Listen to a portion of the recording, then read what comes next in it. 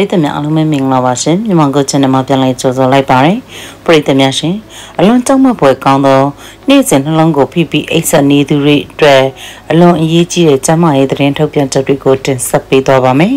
ကမ္ဘာပေါ်မှာလူတွေတည်ဆုံရတဲ့အကြောင်းရင်းကိုလေ့လာကြည့်ရမှာနှလုံးရောဂါကြောင့်တည်ဆုံရခြင်းဟာအများဆုံးပဲလို့ပညာရှင်တွေကမှတ်ချက်ချထားပါတယ်နှလုံးရောဂါကတော့အမျိုးမျိုးရှိကြပါတယ်အဲဒီလိုနှလုံးရောဂါမျိုးမျိုးဖြစ်လာရခြင်းရဲ့ case တစ်ခုဇံကိုအဓိကထားဖော်ပြပေးသွားပါမယ်ဗုဒ္ဓမြတ်စွာဘုရားတတ်တော်ထင်ရှားရှိစဉ်တုန်းကလောကီလူသားတွေဘလို့နေထိုင်ရမယ်ဆိုတဲ့နည်းတွေကိုပေးခဲ့တဲ့အထက်မှာအိတ်ဆက်ခြင်းနဲ့ပတ်သက်လို့လက်ရဘက်ကိုစောင်းအိတ်ဖို့လမ်းညွှန်ခဲ့ပါတယ်လက်ဝဲဘက်ကိုစောင်းမိတ်ခိုင်းတာဟာလက်ဝဲရင်အောင်မှအချိန်တိုင်းကုန်နေတဲ့နှလုံးရှိနေလို့ပါလက်ဝဲဘက်ကိုစောင်းအိတ်တဲ့အခါမှာလွတ်လပ်စွာခုန်နေတဲ့နှလုံးကိုတက်ဖိထားသလိုဖြစ်နေပါတယ်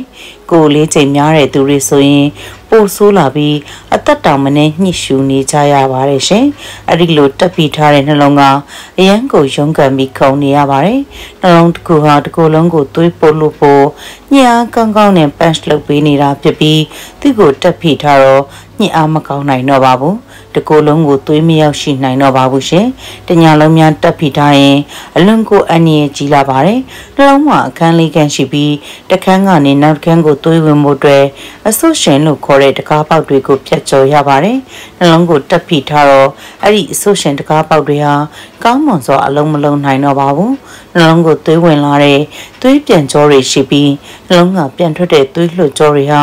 နှလုံးကိုတက်ဖိထားရင်သွေးကြောတွေပိတ်သွားတတ်ပါတယ်။ သွေးတူးတက်ပါတယ် ခန္ဓာကိုယ်မှာနှလုံးဟာအခဲရတိတ်ကြလှပါတယ်ကိုရင်းလုပ်ငန်းရရတိုင်းကိုနှလုံးကအာယူပြီးလုပ်ရတာဖြစ်ပြီးနှလုံးအားမရှိကျန်တဲ့အပိုင်းတွေလည်းကောင်းမွန်စွာအလုံးမလုံးနိုင်တော့ပါဘူးအစာမကြေတာဝင်းချုပ်တာရင်ကျက်တာနှွမ်းနေတာမိုးဝေအော့အန်နာတွေစသဖြင့်နှလုံးမကောင်းတာကြောင့်ဖြစ်တတ်ကြပါတယ်အဓိကအပြင်ဆိုလိုချင်တာဟာနှလုံးဟာမိမ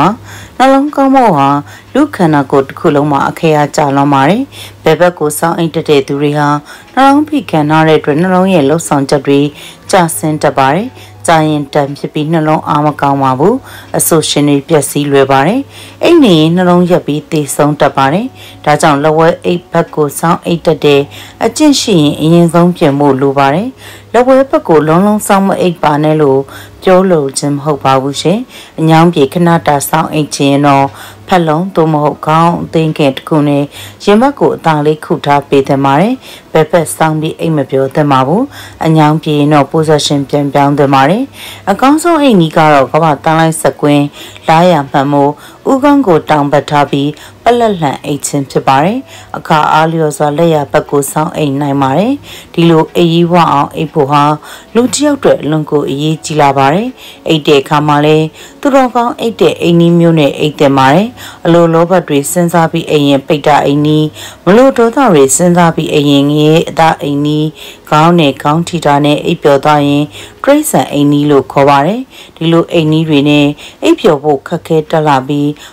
ပက်လက်လေးလံမျက်လုံးလေးမှိတ်ပြီးကိုအားတန်ရယုံကြည်ကိုးကွယ်ရာဘာသာတရားအလိုက်တရားလေးကိုအမှတ်နဲ့အိမ်မာသားနေယောဂီအိမ်နီးသူတို့ကောင်းအိမ်နီးဖြစ်မှာဖြစ်ပါတယ်နှလုံးဟာတိတ်အရေးကြီးပြီးခန္ဓာကိုယ်အတွက်တန်မိုးကြီးလာတဲ့အတွက်နှလုံးမကောင်းရင်အသက်မရှိနိုင်ပါဘူးဒါကြောင့်နှလုံးရောဂါဖြစ်စေနိုင်တဲ့အခြားသောအကြောင်းအရာတွေကိုလည်းယူဆုပ်ကြရင်းနဲ့လူသိနေလာတဲ့ခုပြောပြတဲ့အကြောင်းအရာလေးကိုသတိထားမိကြစေဖို့ကျမ်းမာရေးအရာပြန်လည်လို့တစင်မျှဝေပေးလိုက်ရခြင်းဖြစ်ပါရဲ့ရှင်။ယနေ့တင်ဆက်ပေးခဲ့တဲ့အကြောင်းအရာကိုပြီးဆုံးသည့်ဒီ